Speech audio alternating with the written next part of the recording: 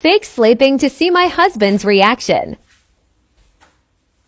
Kate, I know you're not asleep.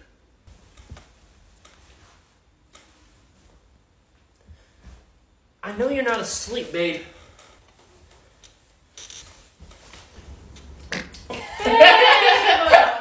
I knew you weren't asleep. You're so gross. No, get off of me. I knew you weren't asleep. You're disgusting. You can't prank me.